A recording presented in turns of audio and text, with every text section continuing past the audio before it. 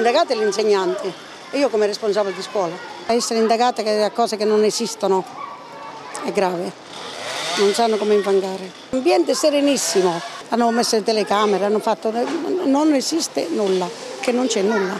Cioè se uno alza la voce perché a un certo punto uno tira, guarda adesso tu allora che fai? Beh, smettila, Così dall'asilo infantile Rosa Moretti di San Giuliano, frazione di Arezzo, respingono al mittente tutte le pesanti accuse che sono in questo caso contenute in una inchiesta giudiziaria, un'inchiesta aperta dalla Procura di Arezzo in seguito alle denunce di alcuni eh, genitori di bimbi che frequentavano questa eh, scuola dell'infanzia cattolica. Ci sono state anche delle registrazioni video dalle quali però non sarebbero sarebbero emersi i maltrattamenti.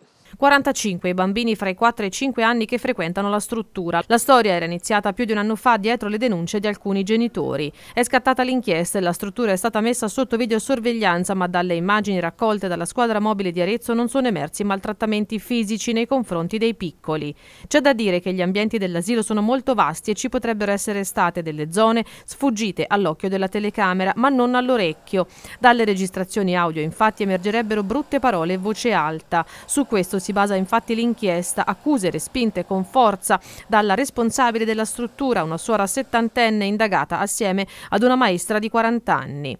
La struttura è aperta da 70 anni. Il procedimento è ancora in fase di indagine. Si è già svolta un'udienza davanti al GIP Giampiero Borraccia, durante la quale il giudice ha disposto una perizia affidata alla psicologa aretina Veronica Andreini. Ci sono 90 giorni di tempo per capire se i bambini potranno essere sentiti con incidente probatorio.